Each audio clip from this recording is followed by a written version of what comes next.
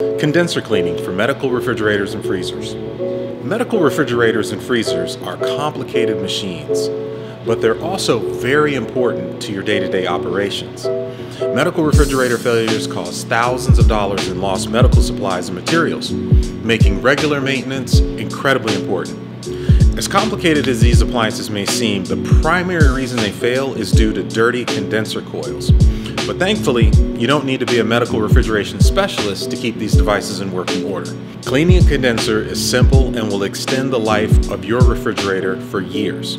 So, what is a condenser? Well, the condenser is an essential component in the refrigeration process.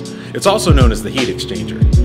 This component is responsible for cooling down the hot refrigerant gas before it becomes the type of super chilled liquid essential for modern refrigeration. As condensers often use air to cool the refrigerant, they're one of the few fan components that are easily accessible, as the component uses the fan to intake air.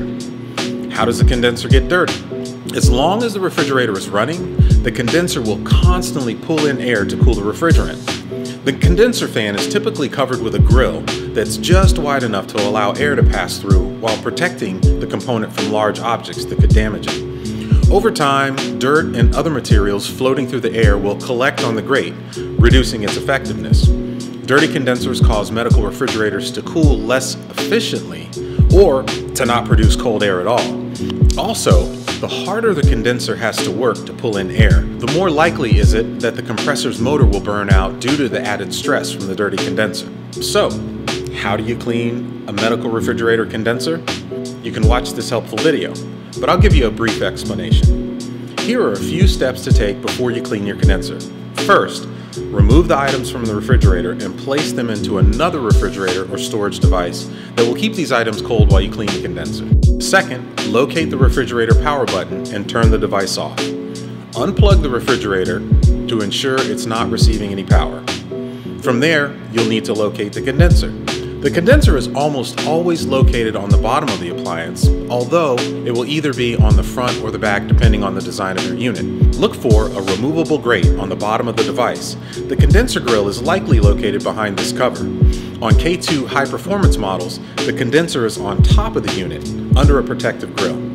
So to clean your condenser, do the following. Use a vacuum to remove dirt and dust.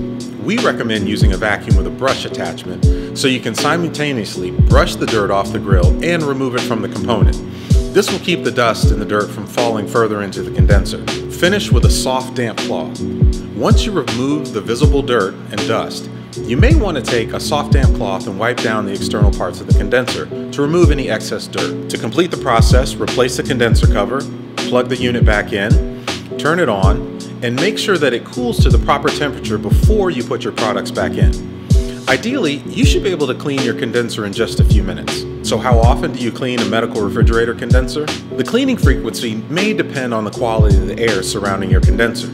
Assuming your refrigerator is in an environment that is regularly cleaned and sanitized, you should only need to clean the condenser once a year.